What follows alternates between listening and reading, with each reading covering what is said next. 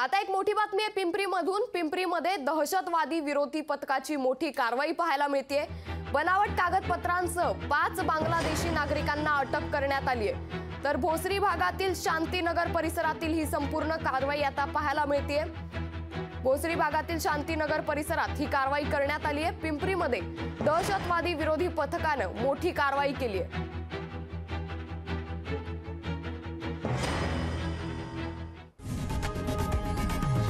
लोकशाही मराठी.